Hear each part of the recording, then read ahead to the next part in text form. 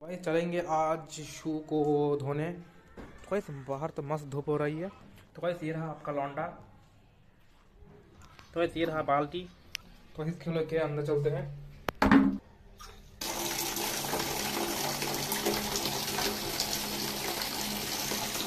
तो इसके अंदर खींच डाल देते हैं। तो ये शू का कुछ है तो पानी फुल चल रही है।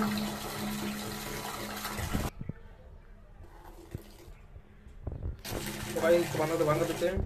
तो सनलाइट इसको इसके डाल देंगे। एकदम मस्त। तो भाई, इसको लेंगे। छत पे आएँगे। इसके अंदर इसको बुरा के।